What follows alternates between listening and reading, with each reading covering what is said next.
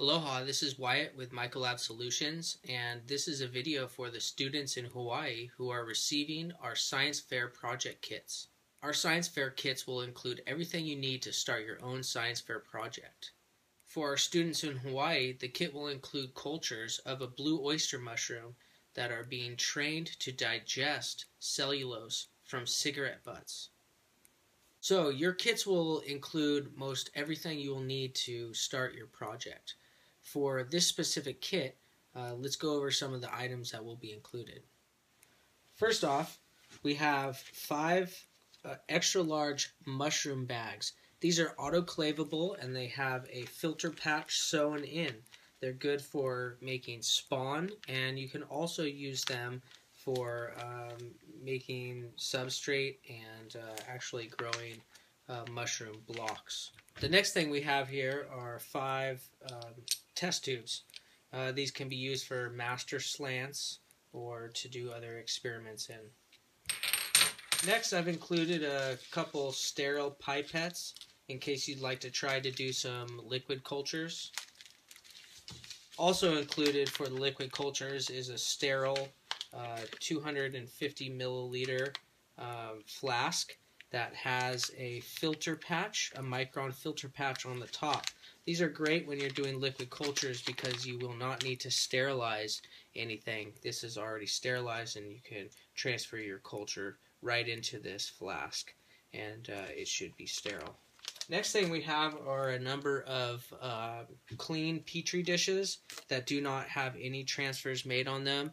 They are, I've included two or three MDA, malt dextrose agar, and three PDA of a potato dextrose agar I made from scratch where I boiled potatoes. The next thing we have are your actual cultures. For this kit, I've included three different blue oyster cultures on the three or two mediums that I described here. Plus, I've included one on a potato dextrose agar mix that I got from Seaweed Solutions online. Along with those pure cultures, we've also had some cultures that are starting to um, digest just pure, clean cigarette butts.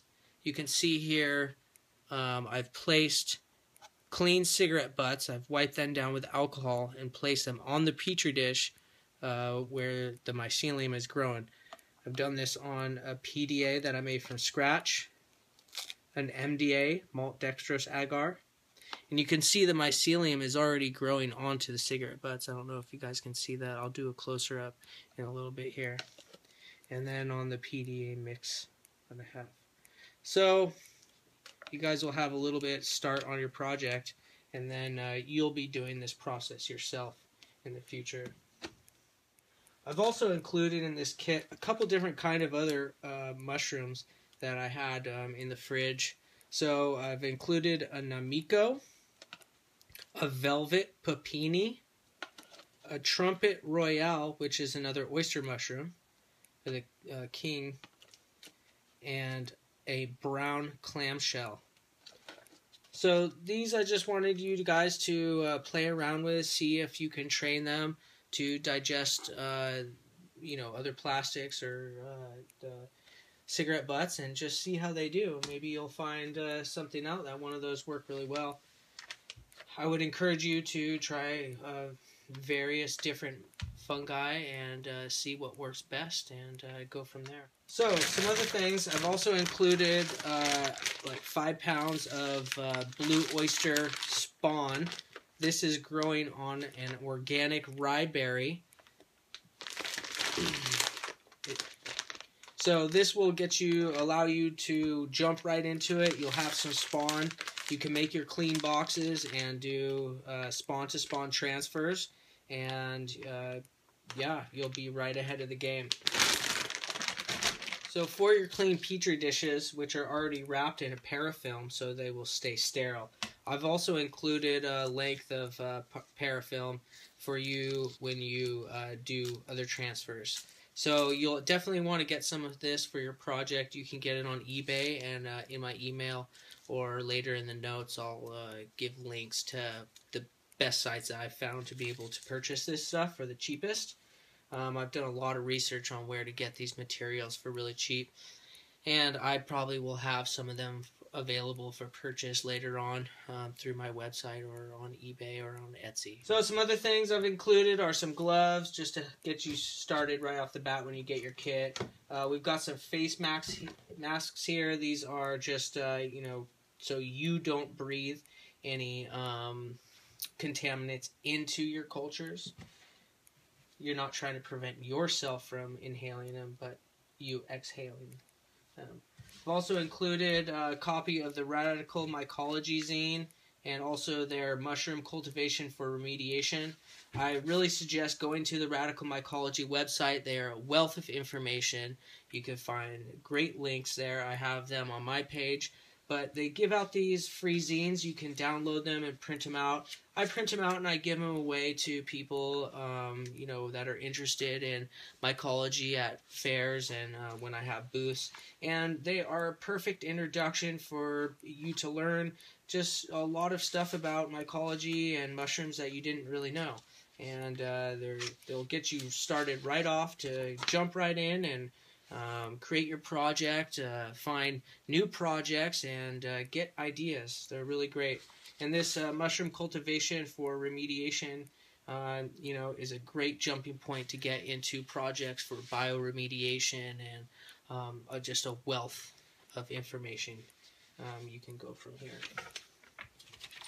So I've also printed out a media list. Now uh, this is just a recipe book of different um, mediums you can make um, to cultivate your uh, mycelium on. So, uh, you know, I, I, used some of these at various times, but um, once you kind of learn what works, you go with it. But, you know, uh, when you have a difficult mushroom that's not growing on your normal mediums, uh, you might be able to find something in here that might uh, give it what it needs to uh, flourish. Then we've also included some of our swag. We have our Jewels of the Forest. Uh, this is a sticker or a magnet that we made. Um, this is our label for our mushroom kits and uh, for our upcoming mushroom products. So uh, there's just a magnet. Let's see, what else do we have here? Uh, we'll include a little bit more instructions and some other items, uh, some information, and we'll always include those in our links and in our uh, on our website. So uh, give us time and we'll update that and uh, you should be able to create create a great project for your science fair something that you can do for over a number of years and be able to expand and uh, just grow your project. Uh, there's so many neat things going on with mycology and mushrooms right now and we love to help uh, anyone that's interested figure out their project or help design a project or just as a mentor or be able to bounce ideas off of.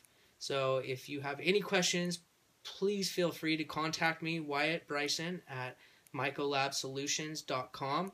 Our email is fungi at mycolabsolutions.com. And you can find us on YouTube, Facebook, all social media. Um, and it really helps when you guys uh, give our name out and spread the word and show what we're trying to do. We are a new business and we're really trying to uh, get off the ground here, and we need your support.